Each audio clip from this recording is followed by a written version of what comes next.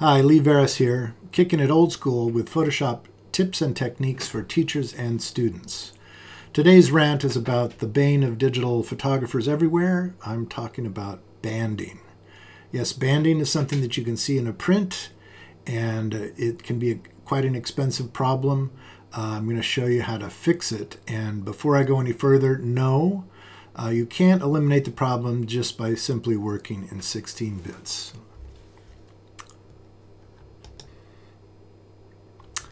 So how do we deal with this problem? Banding can be an expensive problem in a print, and we really need to catch it before wasting any more money on ink and paper.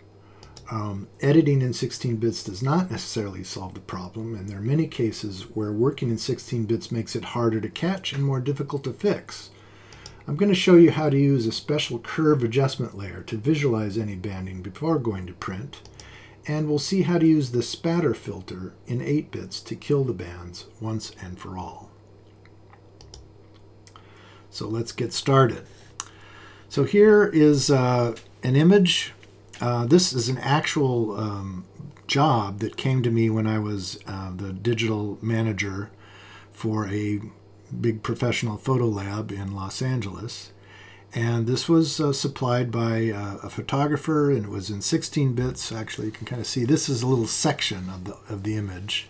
I'm protecting the innocent here by not revealing the actual image, but it's an area. Uh, this is where we commonly see banding. It's in a sky, and you can see it's 16 bits, and um, you know we kind of assume that uh, it's it's smooth, right? And you, you can't. If you look at this now, you can't really see can't see any bands. We're, we're, at, we're at 100% here. Sometimes you can see bands if you go to the individual channels. If we look in the red channel, uh, I don't know if you can see this on the YouTube uh, compressed video, but there's there is some subtle bands going on here. Um, and sometimes you can see it. The problem in, in 16 bits is I don't actually know whether these bands are part of the monitor because the monitor is an 8-bit uh, display or if they're really um, in the file.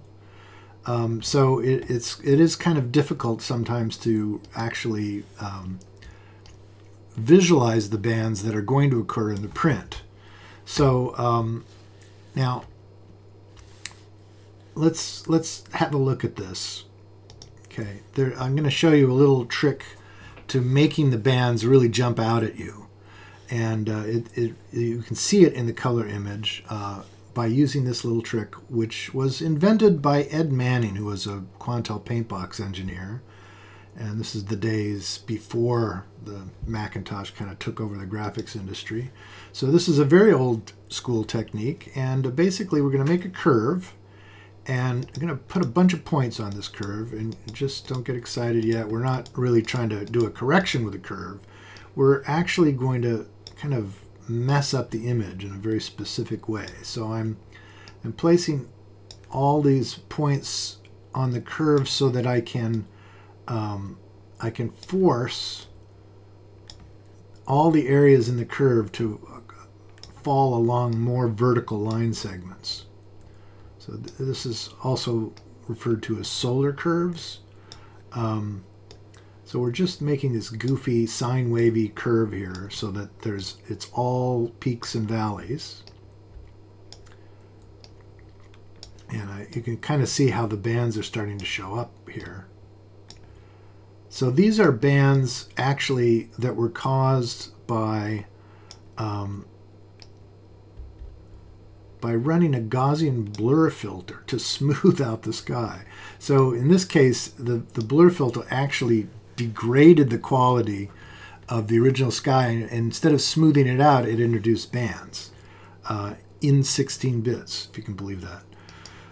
So, you know, we can see the bands. Uh, I'm, I'm going to go ahead and convert this back to 8 bits uh, because the fix for these bands is actually um, is actually a filter that is unavailable in 16 bits. So here we have the banded area.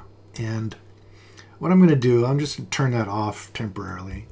And I'm going to duplicate the sky into an empty layer. And in this case, I'm just going to go ahead and, um, well, let's do it this way. So I can run, uh, uh, I use the magic wand filter to select this area because it's a gradient. It's going to want to select the whole area of the sky here. And I'm going to jump it into a new, um, I'll jump it into a new layer. So we'll just do Command J, and now we have sky and with an empty area here. And um, I want to fill this empty area um, with more sky. Uh, but before I do that, I'm going to save this selection. So I'm just going to command click on that layer. Uh, and that makes that selection again. And uh, I'm going to save the selection right here. We'll just put it in a new channel. Okay, so we'll be able to get that, that uh, selection back. Oh, I already have it in that channel. Um, all right, so now inverse the selection. One way of doing it.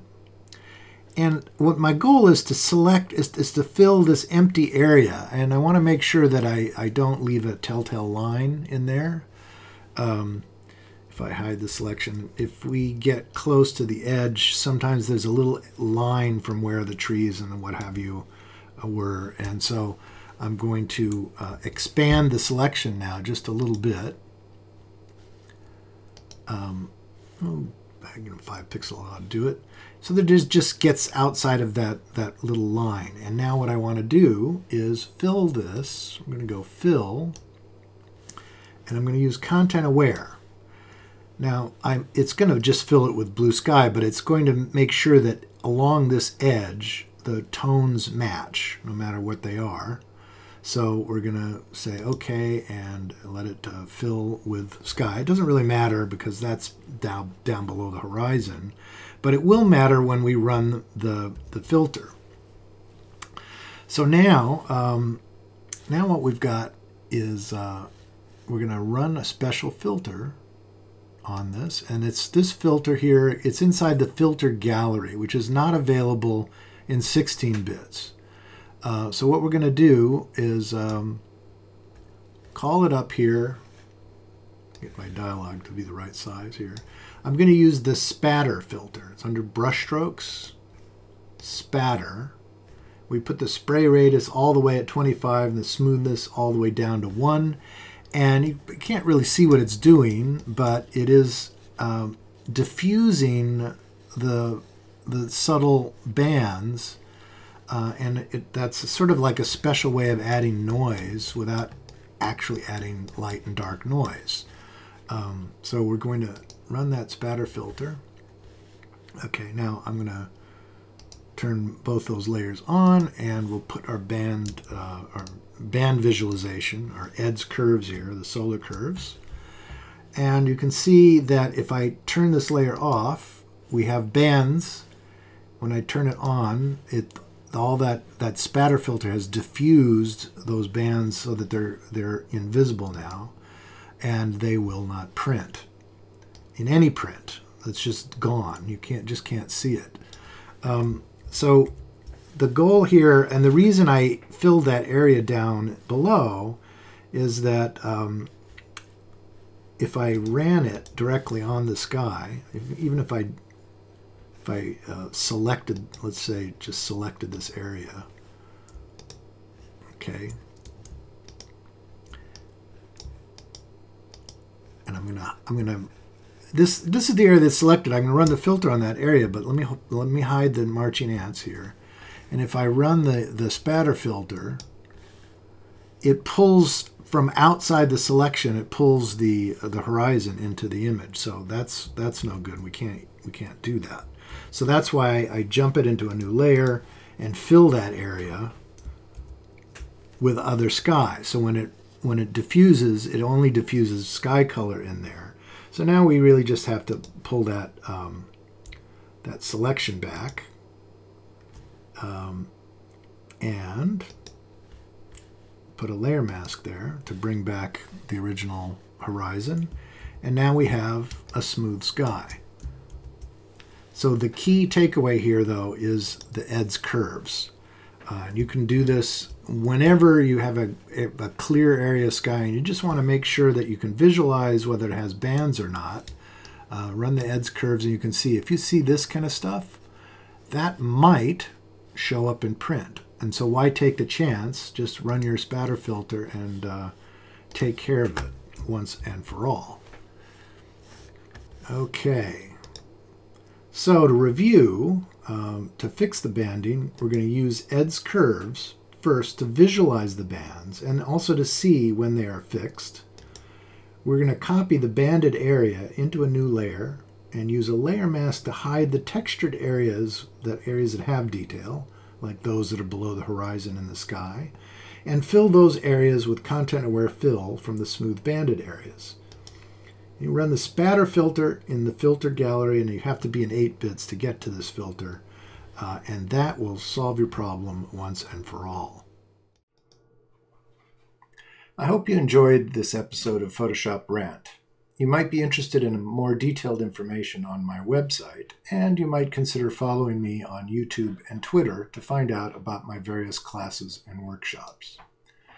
Be sure and like the video, and please subscribe to my channel on YouTube. You might also consider following me on Instagram. I have two books in print available on Amazon in Kindle as well as paper versions Mastering Exposure and the Zone System for Digital Photographers, and my bestseller, Skin, The Complete Guide to Digitally Lighting, Photographing, and Retouching Faces and Bodies. I also have a very detailed discussion of my backup strategies in my ebook, Quick Before They're Gone A Photographer's Guide to Backup, available on Amazon and directly from my website. If you're looking for more in-depth Photoshop tutorials, I have a number of video courses available from my online school under the Education menu at varis.com. Thank you for watching. Post your questions and suggestions for topics to explore under the video, and I'll see you in the next Photoshop rant.